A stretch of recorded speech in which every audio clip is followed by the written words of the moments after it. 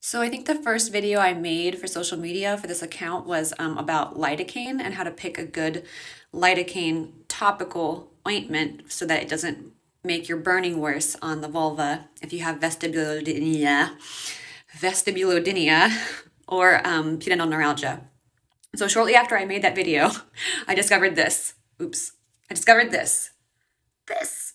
Um, Dibucaine, Dibucaine, um, topical anesthetic, 1% hemorrhoidal ointment. So even though we don't have hemorrhoids, maybe we do, um, because this is for hemorrhoids, it is the first thing I've ever tried that's numbing that doesn't burn at all.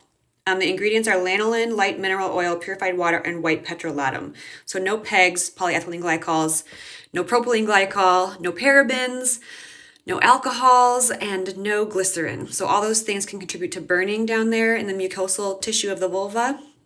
And um, yeah, so if you want something to kind of put on the almost close to the inside, this is my new favorite thing, and it is over the counter, and um, it's like $6 for two tubes on Amazon. And the brand manufacturer is Rugby.